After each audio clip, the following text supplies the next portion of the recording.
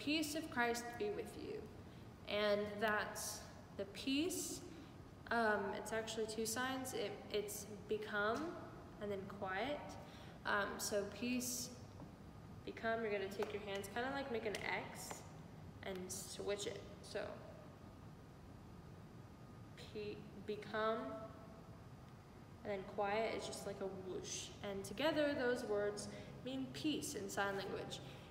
So it's peace, be with. With, you're just gonna bring your hands together, like two thumbs up, and just bring them together. With you. So it, all together, it's peace, be with you.